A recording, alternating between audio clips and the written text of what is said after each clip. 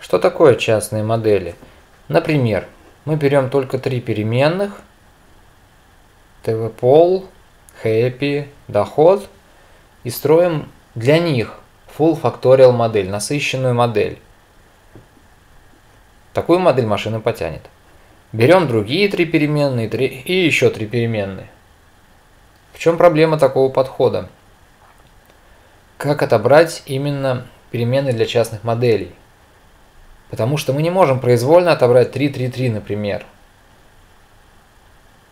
Если сделать так, то мы не сможем учесть interaction эффекты между переменными, отнесенными нами к разным частным моделям. Таким образом, составлять частные модели мы можем только из переменных, которые не имеют между собой interaction эффектов. Но как узнать, какие переменные имеют interaction эффекты, а какие не имеют interaction эффектов между собой? На этот вопрос может дать только дать ответ только логлинейный анализ.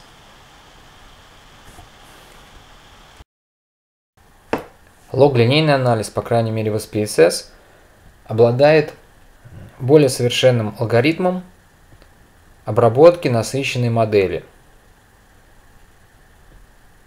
Все 9 переменных в нынешнем их виде все равно он не обработает. Я проводил расчет, если поместить эти переменные в модель, она будет обсчитываться примерно год на не самом слабом персональном компьютере. Поэтому надо несколько упростить имеющиеся переменные, тем более логлинейный анализ предполагает работу именно с категориальными переменными, прежде всего. Поэтому есть смысл все переменные рассматривать как категориальные. И на этом основании их несколько упростить. Упрощение коснулось переменной ТВ-пол, просмотр политических телепередач, хэппи, доход,